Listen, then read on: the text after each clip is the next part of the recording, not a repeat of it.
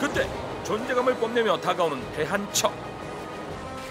보물 소식을 듣고 달려온 건 김 PD만이 아닌가 보다. 오, 많이 타셨어요. 일찍 오셨어요. 예, 보물 캐러 오신 거예요?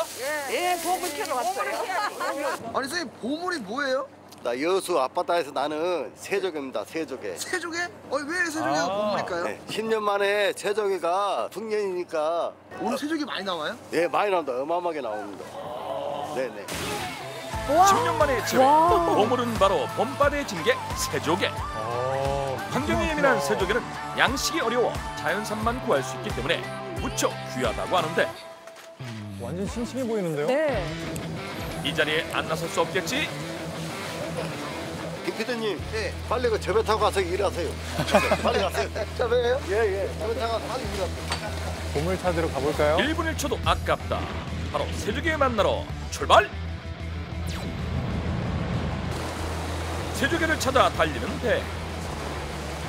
그런데 양옆에 매달린 그물의 형태가 심상치 않다. 어? 그물의 갈고리가 너무 날카로운 것 같은데? 갈비 같은 게 있어요.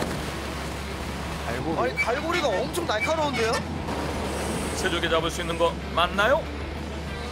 근데 이게 어떻게 잡히는 거예요 세조개가? 행망틀이라고 예, 형광틀? 어, 행망틀이다 그래. 지가 꼬막을 네. 탁 찍어갖고 걷어 올리는 거야 이 물속에서. 오. 갈고리로 바닥을 긁어 모래에 묻힌 조개류를 채취하는 어법인 형망어. 아, 이런 식으로. 음, 캐 내듯이. 세조개 역시 갯벌에서 살기 때문에 형망으로 잡는다고 한다. 어, 잘 잡힐까요? 본격적으로 세조개 채취 시작. 그저 바닥을 긁으면 되는 줄 알았지만 유의할 점이 있다고 한다. 어, 이게 뭐예요? 항적. 항적. 어, 항적 기르고 작업을 하는 거예요. 바닥을 천천히 다 어, 긁어가는 거예요. 요리 다 전차가 있으니까 지금 요리 예. 다 해가는 거예요 세 자리. 과연 세조개가 잡혔을까? 올라와요. 세조개. 와 세조개 양이 엄청 많은데요? 많아요? 언뜻 봐도 묵직해 보이는 빵빵한 그물. 우와. 가득 싣고 상당히 의미한양했다. 그물을 내릴 준비로 분주한 바지선. 그물이 터질 때 엄청난 양의 강물이 절로 난다. 새 조개만 잡혔어요. 승리는 온갖 없네요. 힘을 합쳐 그물을. 끌어올리는데 힘좀 써요. 성인 남성 여럿이 모여도 만만치 않은 무게. 결국 우리의 김PD도 합세했다. 와, 김PD.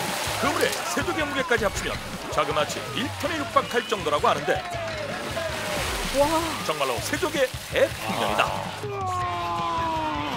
와 대박이다. 세조개는 남의 최고 별미지만 여기서도 세조개의 산을 보는 건 10년 만이라고 한다. 풍성하네요.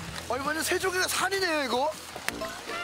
세조개 이름에 어원도 정이 있다는데 예, 이게 바로 요수의 보물 세조개. 세머리를 닮아서 세조개라고 불린다.